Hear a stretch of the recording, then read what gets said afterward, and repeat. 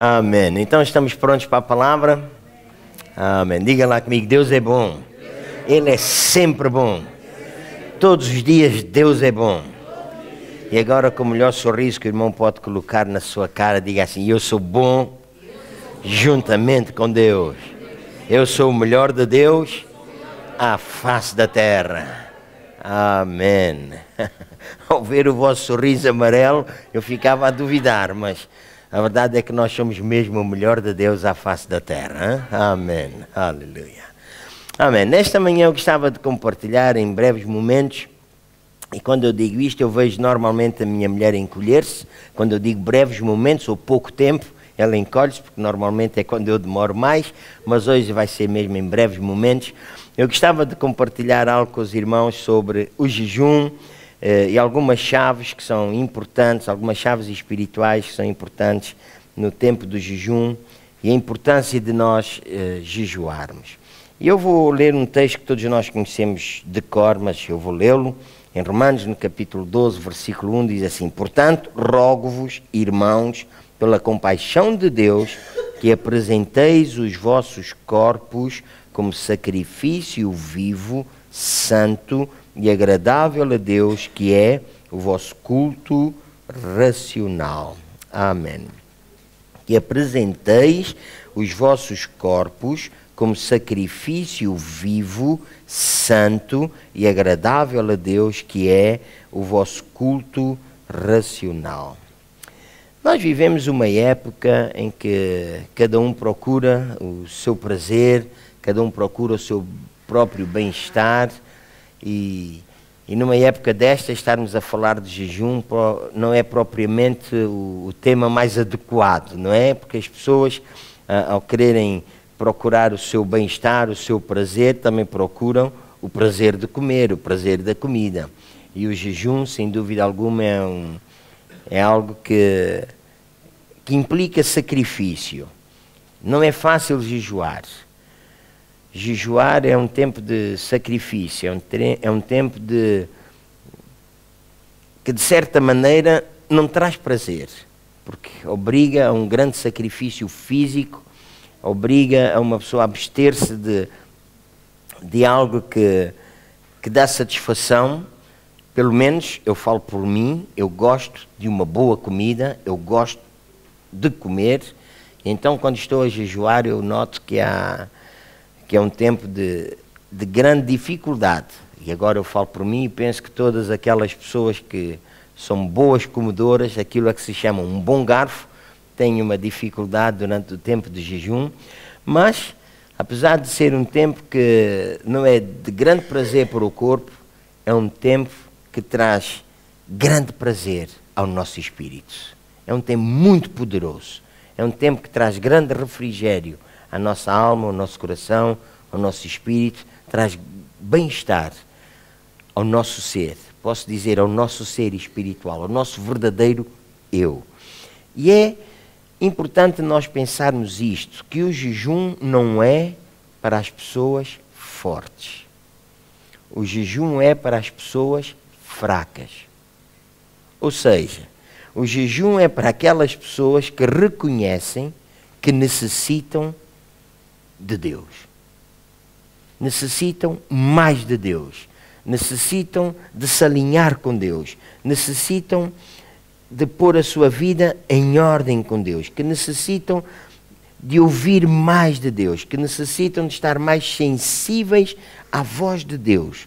Porque o jejum coloca-nos mais de harmonia com Deus. Porquê?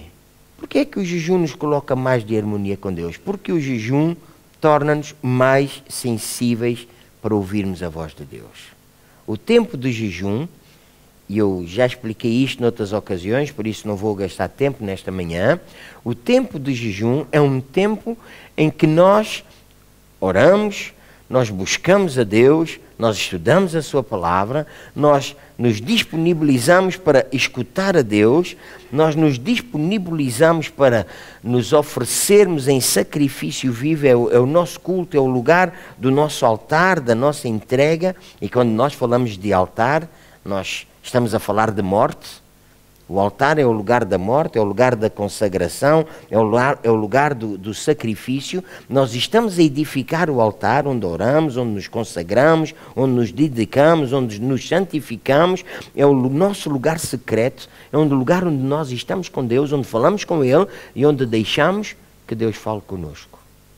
Por isso, o tempo do jejum é um tempo em que verdadeiramente nós nos sacrificamos e nesse tempo nós dedicamos mais a nossa vida para escutar Deus, abstemos-nos de outras coisas para escutar mais Deus, para quê? Para que possamos experimentar a boa, perfeita e agradável vontade de Deus na nossa vida. O tempo de jejum não é um tempo para nós manipularmos Deus. Jamais nós conseguiremos manipular Deus nós não conseguimos arrancar uma bênção de Deus. Escute bem isto com muita atenção. Há pessoas que pensam que, pelo facto de estarem a jejuar, podem conquistar algo de Deus. O jejum não é para nós conquistarmos nada. O jejum não é para nós ganharmos nada. A única coisa que nós ganhamos com o jejum, olha, é o facto de perdermos algum peso, para aqueles que gostam de perder peso, mas a única coisa que ganhamos com o jejum é o facto de nós nos tornarmos mais sensíveis à voz de Deus. É a única coisa. Porque nós não conseguimos ganhar uma bênção que seja pelo facto de nós jejuarmos.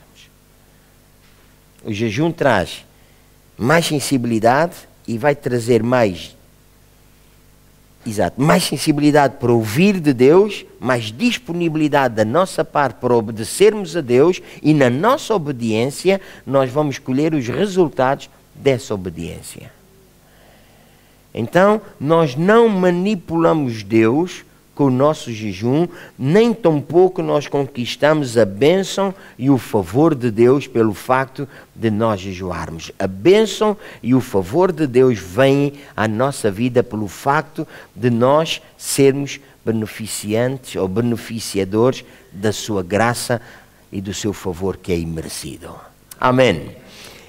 Nós, quando jejuamos, meus irmãos, nós experimentamos mais e mais da direção de Deus. Ou, ou seja, nós ficamos mais quebrados. Nós somos mais e mais levados ao lugar da, da obediência, da dependência de Deus, ao lugar onde nós ouvimos e nós compreendemos mais a direção de Deus, onde nós estamos mais no lugar em que ouvimos de Deus e estamos disponíveis para obedecer a Deus, para seguir a instrução de Deus. E quando nós seguimos essa instrução, então nós sabemos que depois de obedecermos, nós comemos o melhor da terra, nós alcançamos os resultados e os propósitos divinos para a nossa vida e os resultados divinos, os propósitos divinos para a nossa vida, nós sabemos são resultados de bem e não de mal. São de bênção, são de prosperidade, são de vitória, são de saúde, são de sucesso. Porque aquilo que Deus pensa a nosso respeito são coisas boas. São coisas boas. Então, quando nós ouvimos de Deus e nós fazemos aquilo que Deus nos indica que nós devemos fazer, o sucesso, aliás, o resultado sempre é um resultado de sucesso. Daí a importância de nós jejuarmos. Já falei mais que uma vez também que jejum é acompanhado de oração. Não é um tempo de nós orarmos exigindo a Deus que Deus faça alguma coisa. Nós podemos pedir a Deus. Aliás, devemos pedir. Jesus disse: Nada tendes, porque nada pedis. Então nós devemos pedir. O tempo de oração é um tempo também em que nós pedimos a Deus e nós pedimos a Deus, mas nós não exigimos a Deus que Deus faça alguma coisa que seja contrário à sua vontade. Jamais Deus fará alguma coisa contrária à sua vontade. Não pense que pelo facto de estar a jejuar, Deus fará alguma coisa que seja contrário à sua vontade. Deus não irá fazer isso. É importante também nós entendermos que o jejum não é um mandamento. Jejum não é um mandamento. Jejum é faz parte da vida cristã. Jesus estava a dar instruções aos seus discípulos e Jesus deu algumas instruções que fazem parte da vida cristã. Quando deres, quando orares, quando jejuares, está escrito lá em Mateus capítulo 6, são instruções da vida cristã. Quando deres, quando orares, quando jejuares, e Jesus estava a dizer que quando nós fazemos isso, nós fazemos isso não para ser algo que o façamos de uma forma que todos saibam, que todos vejam, mas é algo que nós fazemos de uma forma secreta. Quando damos, nós não agarramos na nota que nós damos e esticamos a nota. Eu pus uma nota bonita hoje no meu bolso e nós não fazemos. Alô, toda a gente está ver? Esta é a nota que eu vou pôr na oferta. Não foi isto que Jesus nos mandou fazer. Quando oramos, oh Pai Celestial, Deus Todo-Poderoso, Forte, Grande Deus, Aleluia! Nós não precisamos fazer isto para que todos saibam, para que todos vejam. Eu estou a jejuar. Nós não precisamos disto. Nós apresentamos-nos a Deus em sacrifício vivo. É no nosso lugar secreto ouça, aquilo que nós fazemos em segredo, aprendem este princípio que é glorioso. Aquilo que nós fazemos em segredo, quando damos, a direita não tem que saber o que dá à esquerda e a esquerda não tem que saber o que dá à direita. Quando damos, nós fazemos-lo para nós próprios. Quando oramos, nós fazemos-lo em segredo, fechamos a porta do nosso quarto. Ninguém tem que saber isso. Somos nós que o fazemos. Não precisamos de andar a ostentar as coisas. Claro que às vezes nós dizemos, ah, tive horário, orei por si, orei pelo irmão, mas nós não precisamos tocar o sino com a nossa oração. Sabe, muitas vezes as pessoas que se proclamam de oradores são aqueles que oram menos. Por isso precisam de anunciar. Porque quem ora não precisa de anunciar porque se vê os resultados. 50 abanões de cabeça, glória a Deus. Quem jejua também não precisa de andar nas praças dizer eu estou a jejuar, eu estou a jejuar. Porque quem jejua muito, ao fim de cinco vezes bater no peito, cai. Não precisamos disso. Nós oferecemos a nossa vida como sacrifício vivo. Fazemos isso em secreto. E aprenda este princípio. Aquilo que nós fazemos em secreto tem a sua recompensa em público. Eu vou repetir. O que fazemos em secreto tem a sua recompensa em público. O jejum é um ato de adoração. Nós adoramos a Deus. E quando nós adoramos a Deus, nós atraímos a atenção de Deus. Porquê? Porque o Pai procura adoradores que o adorem em espírito e em verdade. O nosso tempo de jejum é um tempo de adoração. É um tempo em que chegamos à presença de Deus. É um tempo em que nós o adoramos, abrimos o nosso coração perante Ele. Estamos ali. É um tempo em que, que nos abstemos de, de alimentos. É um tempo em que nos abstemos de comer coisas gostosas, coisas que nós gostamos no nosso dia a dia. E abstemos de comer essas coisas que nós gostamos e vamos comer outra coisa que também gostamos a palavra de Deus.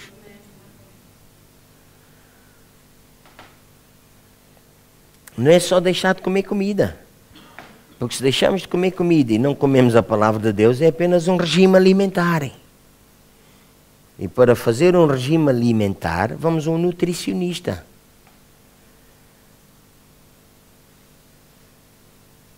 Jejum é um tempo de humildade. É um tempo em que nos submetemos a Deus. Humildade não é andar aí com uma carinha.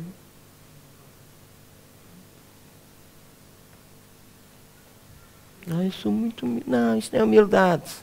Há muita gente que tem uma carinha assim, mas é mais orgulhoso que eu sei lá o quê. É orgulhoso e é rebelde. Sabe? Há muita gente que tem carinhas assim que são orgulhosos e rebeldes. A humildade é nós estarmos perante Deus, é submetermos a Deus. Humildade significa que nós nos submetemos a Deus e dizemos, oh Deus, eu não percebo já nada do assunto, tu é que percebes, eu submeto-me a ti, eu submeto-me à tua vontade, eu reconheço que não é minha vontade, mas é a tua vontade que prevalece, por isso eu submeto-me a ela, eu reconheço que os teus caminhos são mais altos que os meus caminhos, os teus pensamentos mais altos que os meus pensamentos, então eu ponho os meus pensamentos de parte, eu abraço os teus pensamentos, eu caminho nos teus pensamentos, eu caminho nos teus caminhos, e eu faço a tua vontade. Uau! Isto é ser humilde, e humilde é exaltado.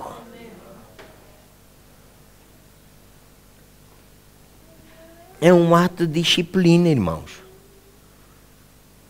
Quando jejuamos, é um ato de disciplina.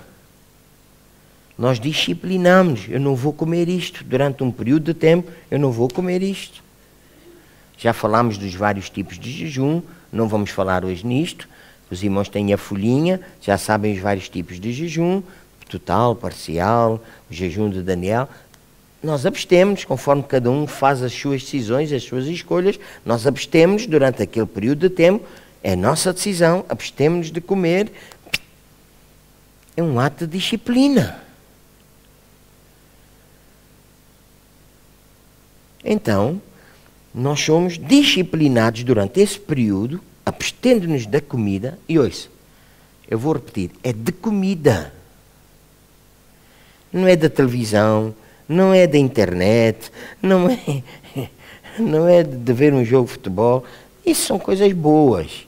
No tempo do jejum, se o irmão vê menos televisão, se o irmão vê menos o futebol, se o irmão vai menos à internet, ótimo. Gaste mais tempo a estudar a palavra de Deus do que a ver isso no tempo de jejum. Encantados da vida. Fantástico. Isso é maravilhoso. Mas eu estou a fazer jejum da televisão. Mas que tipo de jejum é esse?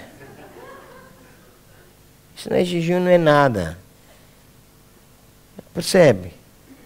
Não. Jejuar é deixar de comer. Isso, quanto muito, pode ser abstinência.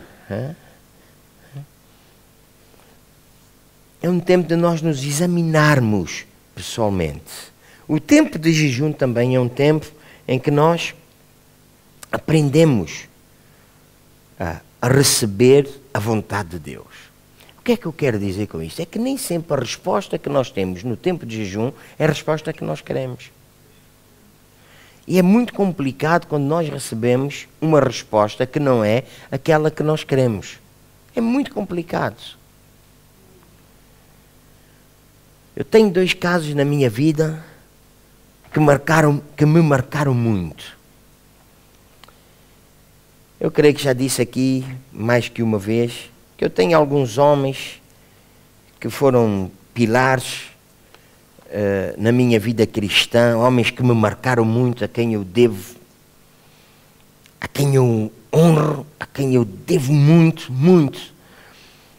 E não vou estar a repetir aqui os nomes deles, mas um deles foi o, o pastor Alfredo Rosendo Machado Deus chamou-me ao ministério quando Ele estava a orar por mim, quando eu tinha a idade de seis anos. E a sua esposa, a irmã Isabelinha, ela foi alcançada com câncer. E eu tinha a idade de, sei lá, creio que 18 anos, mais ou menos. E eu lembro-me que eu tirei dias de jejum Algumas noites inteiras eu passei a orar.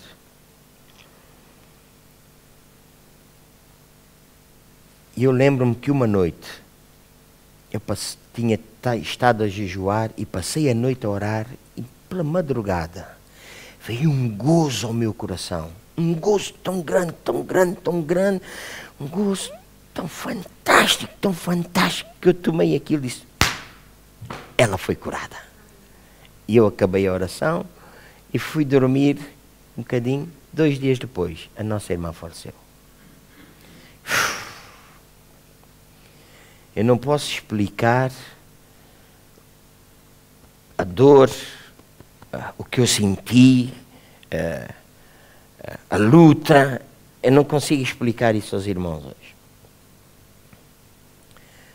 Posso vos dizer que alguns anos mais tarde já estava casado, talvez uns quatro anos mais tarde, Uma das minhas professoras, quando eu era um jovenzinho, uma das minhas professoras, a doutora Silvia Duro, minha professora de português, eu soube que também tinha um cancro. E eu e a minha mulher fomos visitá-la. Eu levei-a a Jesus e também tirei alguns dias para jejuar, passei algumas noites em oração e dessa eu lembro uma hora, estive uma noite também orar, eram quatro da manhã, uh, que alegria! Eu até disse à minha mulher, ela foi curada. Que gozo, mas é um gozo do céu, sabe? Do céu. No dia seguinte, eu recebi a notícia que ela tinha morrido. Disse, uau!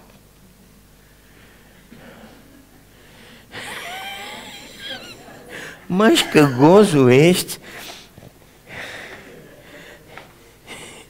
Quase dá vontade de não orar, quase dá vontade de não jejuar e dá vontade de não ter esse gozo.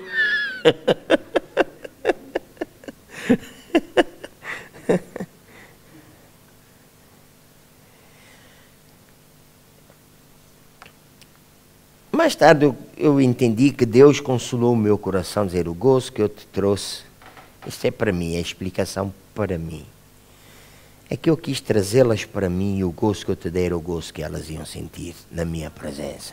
Isto foi explicação para mim. É só para mim. Está a ser gravado, mas é só para mim, ok? Eu não sei explicar o porquê, não sei explicar, mas é para mim.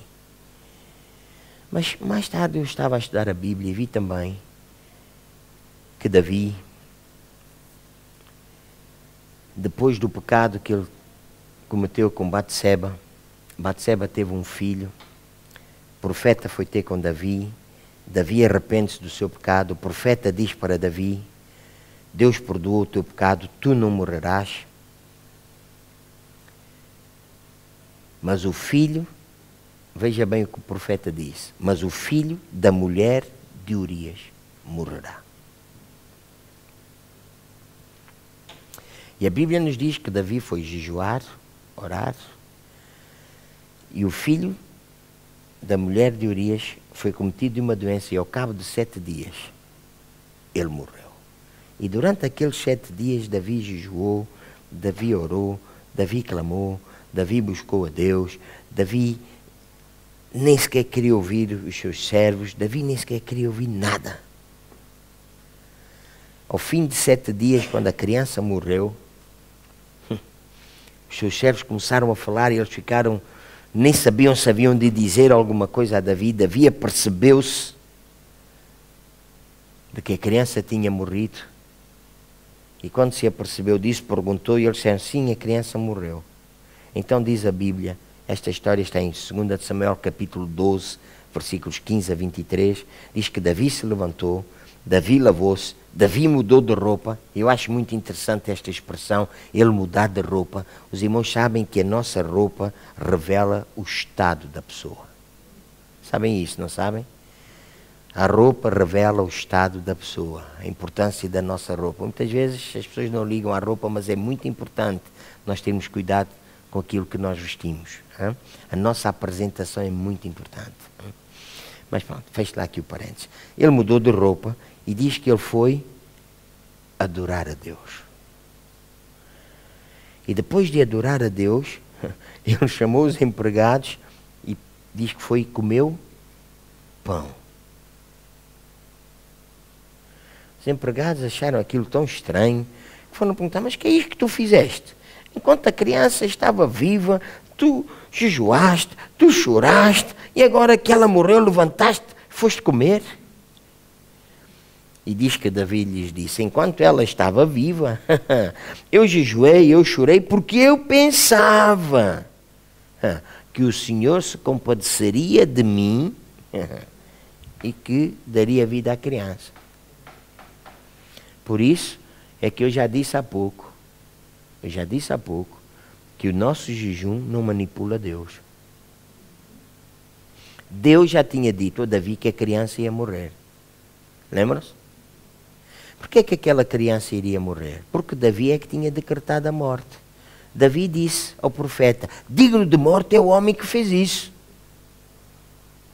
E o profeta disse: O Senhor perdoou o teu pecado, tu não morrerás, mas a criança vai morrer. Deus já tinha dito: a criança vai morrer. E Davi pensou que com o seu jejum manipularia Deus. Mas a criança morreu. Então nós precisamos de ter cuidado. Agora, ele levantou-se, ele foi adorar a Deus e ele foi comer, diga lá comigo, pão. Mais uma vez, diga lá comigo, pão. Diga outra vez, pão. Os irmãos sabem que as coisas na Bíblia não estão por acaso. A Bíblia podia ter dito e ele foi comer. Não era suficiente. Por que é que diz foi comer pão? Porque o pão fala de comunhão. Pão fala da palavra. Pão fala-nos de Jesus. Ele adorou, mas ele alimentou-se da palavra. Ele alimentou-se no seu espírito. Ele não ficou revoltado com Deus. Ele continuou a crer no Senhor seu Deus. Ele fortificou-se no seu coração. É muito importante nós entendermos que o nosso tempo de jejum é um tempo de nós nos fortificarmos no Senhor nosso Deus. O nosso tempo de jejum, meus irmãos, é um tempo de edificação espiritual. Edificamos o nosso espírito, edificamos o nosso espírito pela oração, edificamos o nosso espírito pela palavra, edificamos o nosso espírito escutando boas mensagens. Eu repito, boas mensagens. Não é de qualquer pregador, é boas mensagens. Eu já disse aos irmãos que na nossa livraria só coloco livros e música que eu ouça. Eu estive no Brasil há pouco tempo, comprei alguns CDs, infelizmente, alguns já ouvi e tenho que deitar no lixo. Lamento para os irmãos brasileiros, mas há música de alguns dos nossos irmãos brasileiros que não presta. É uma vergonha haver música dita evangélica daquela não presta. E eu ouvi aquilo, lamento o dinheiro que eu gastei, mas vai para o lixo. Eu não posso pôr aquilo aqui à venda. E depois eu tenho, quando voltar lá, vou ter que aconselhar lá nas livrarias evangélicas a terem lá as coisas para eu ouvir lá os CDs, para eu não gastar o meu dinheiro. Porque agora o meu dinheiro vai para o lixo. E isto é mesmo para ficar na gravação, não é para tirar da gravação, está bem?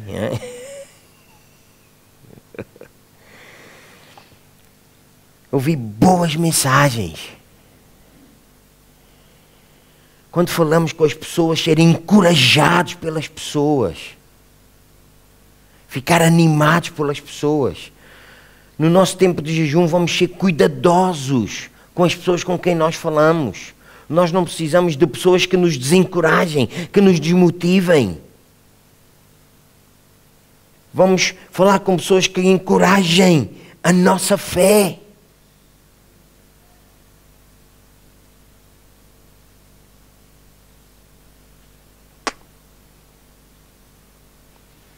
Nós não precisamos de ouvir pessoas que falam da crise, das dificuldades, dos problemas. Nós precisamos de ouvir pessoas que nos estimulem. Nós precisamos de nos preparar fisicamente. Consoante o tipo de jejum, maior deverá ser a nossa preparação. Nós devemos escrever os nossos alvos, os nossos objetivos, porque no tempo do jejum, meus irmãos, a nossa mente divaga muito.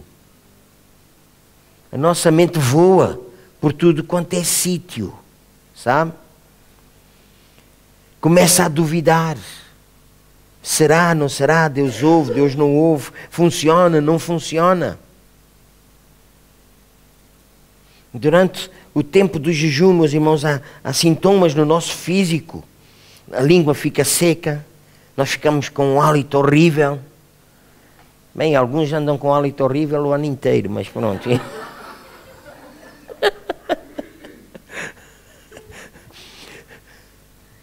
chupo reboçado sem açúcar, tem a pastilha elástica sem açúcar, há umas bombinhas cá, uns sprayzinhos também de, de, de, de mentol sem açúcar. Usa alguma coisa que, que facilite.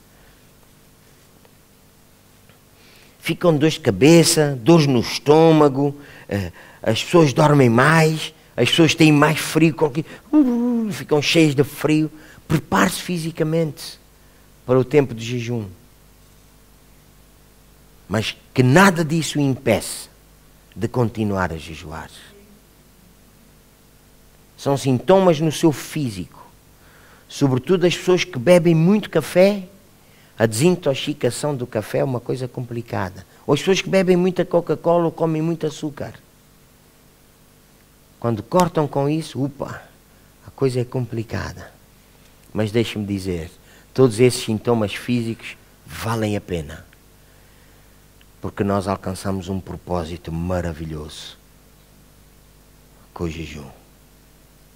Nós somos reanimados, vivificados, entusiasmados, encorajados à medida que colocamos a palavra de Deus no nosso coração. Palavra de Deus que lemos vez após vez, no nosso tempo do jejum, o Senhor Santo Espírito reaviva no nosso coração. Porquê? Porque estamos mais sensíveis. Estamos mais disponíveis para ouvir aquilo que Deus tem para nós.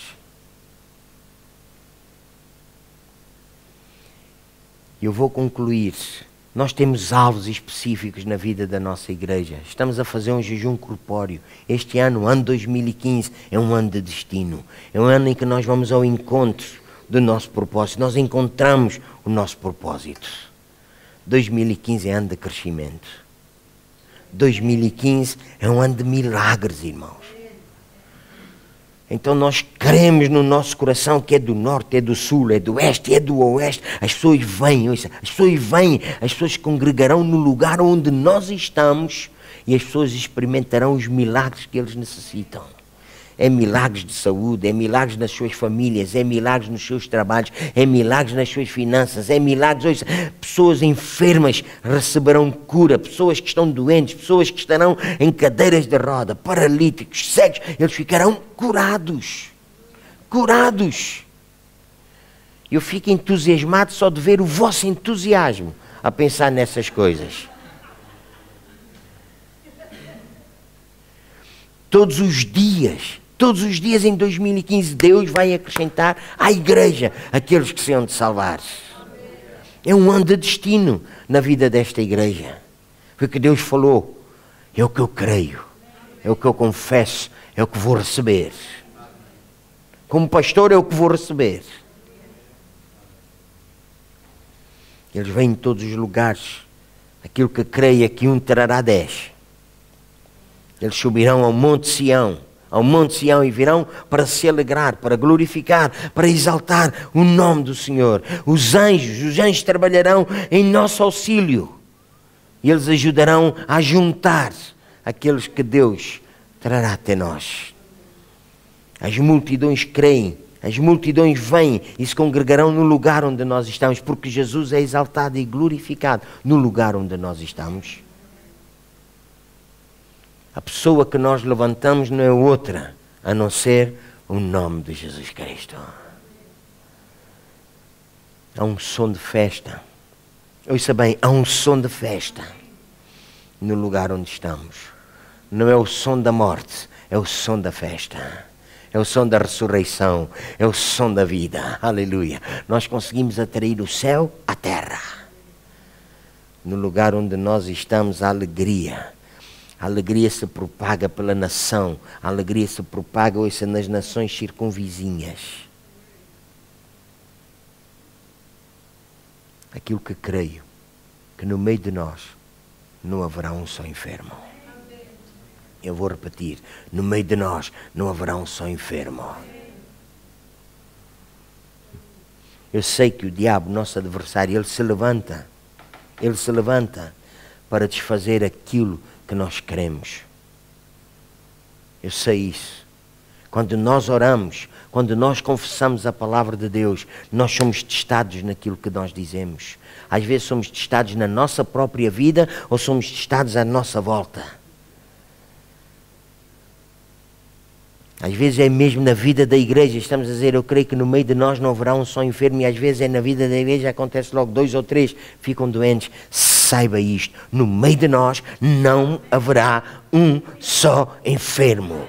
Por quê? Porque Deus já enviou a sua palavra. Jesus Cristo já foi enviado. E é Deus que nos mostra a sua salvação. E a sua salvação é levantada, exaltada, glorificada, honrada no meio de nós. E a sua salvação é Jesus Cristo. Aleluia. É no nosso meio. É um ano de bênção. É um ano de grande bênção. Há pouco, no tempo de louvor, nós já vimos a nossa irmã ler o capítulo lá em Joel. Uma nação devastada, uma nação arrasada, assolada sem mantimento, sem alegria, sem regozijo. A semente tinha mirrado, os celeiros assolados, os armazéns derrubados, os cereais secos, o gado a gemer, as manadas de vacas confusas, o fogo a consumir os pastos, as, as chamas a consumir as árvores, os rios secaram. Mas Deus disse: santificai um jejum, consagrai um jejum. E eles proclamaram um dia de jejum. E Deus falou: alegrai-vos, oceano, aleluia, porque a chuva temporã, a chuva serode virá. Glória a Deus.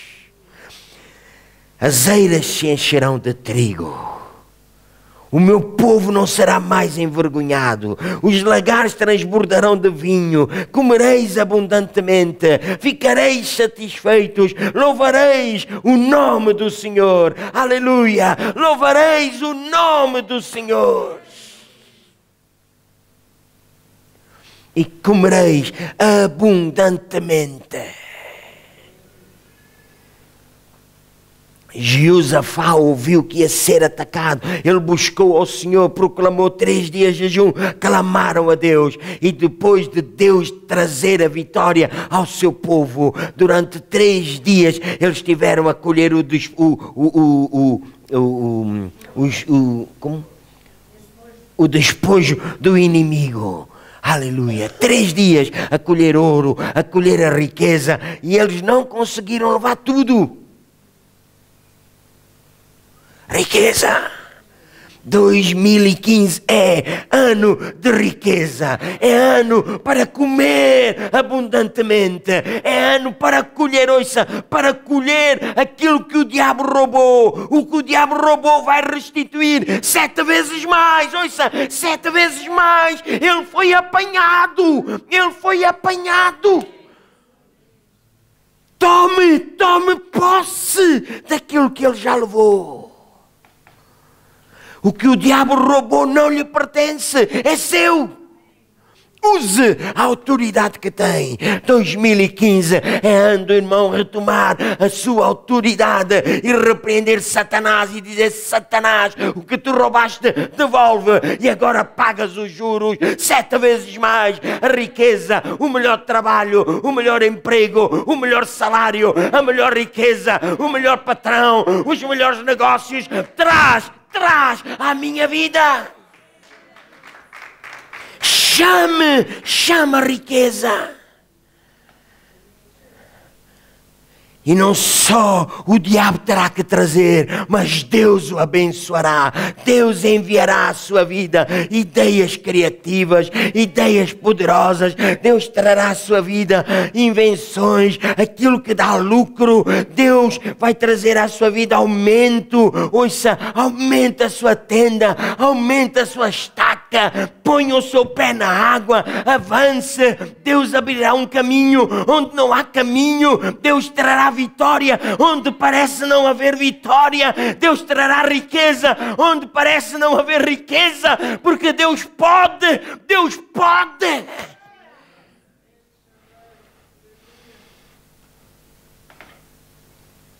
Busca Deus em primeiro lugar, todas as coisas lhe serão acrescentadas. Aleluia! Coloque-se Diante de Deus, meu irmão, diante de Deus. Deus tem um plano para a sua vida. Ah, mas eu estou assolado. Ah, mas eu estou devastado. Ah, mas eu já nem tenho fé. Oh, meu irmão, não estou a falar da sua fé. Eu estou a falar da graça de Deus. Eu estou a falar do favor de Deus. Eu estou a falar do ano de destino, o ano de destino para a sua vida.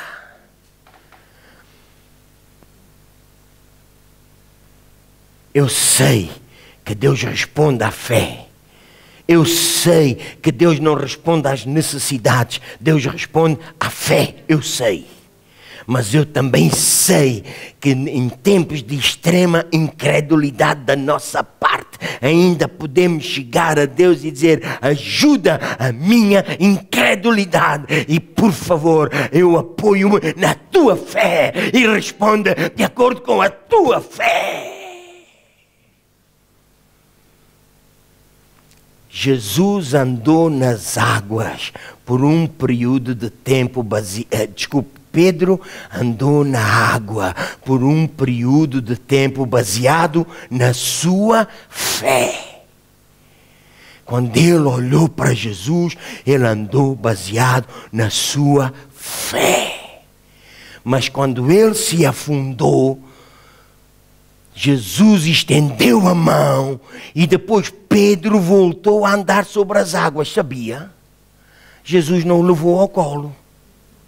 Diz que voltaram a andar para o barco ou não? E foram andar para o barco outra vez ou não? Foi baseado na fé de quem? De Jesus. Há momentos em que a nossa fé fica lá embaixo. Então nós, oh Jesus, é na tua fé. E a fé dele já disse: está consumado, está consumado, está consumado. É na tua graça, é no teu favor, é no teu favor, é no teu favor. 2015 é ano de favor, é ano de graça, é ano de colheita, é ano de riqueza, é ano de glória, é ano de glória. Oh, baseado na fé dele, no favor dele. Aleluia!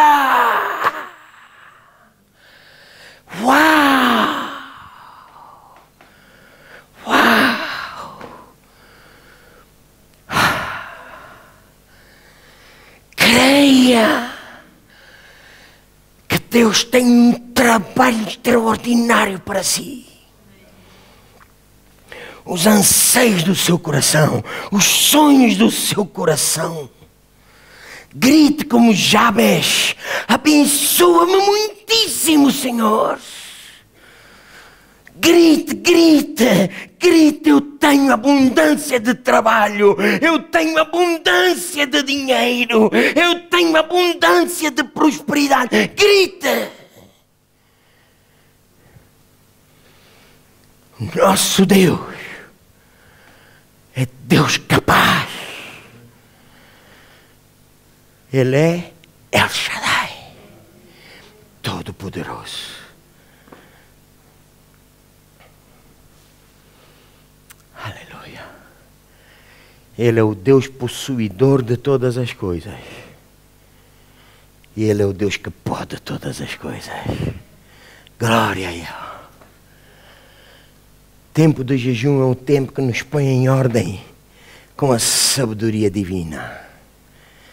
Sabedoria divina, meus irmãos. Nós sabemos que o maior problema do homem é um problema de sabedoria. E se alguém é falta de sabedoria, peça a Deus que a todos dá liberalmente e não lance em rosto. É falta de sabedoria? Peça. Peça a Deus que Deus dá.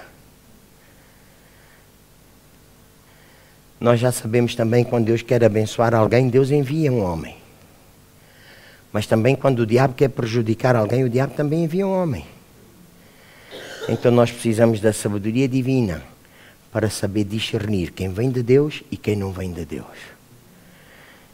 E quando nós discernimos isso, precisamos de ter ousadia para saber separar as águas. Sabe? Nós precisamos de ousadia para não continuar a pactuar com quem vem enviado da parte do diabo. Porque às vezes quem vem enviado da parte do diabo vem cheio de delicodossuras. Nós até estamos a fazer jejum, não comemos coisas doces. Ponha lá as delicodossuras de parte e firme-se em Deus. firme-se em Deus. Porque às vezes essas pessoas vêm para roubar o seu tempo, vêm para roubar a sua fé, vêm para roubar as suas finanças, vêm para roubar aquilo que o irmão crê, vêm para roubar tanto de si.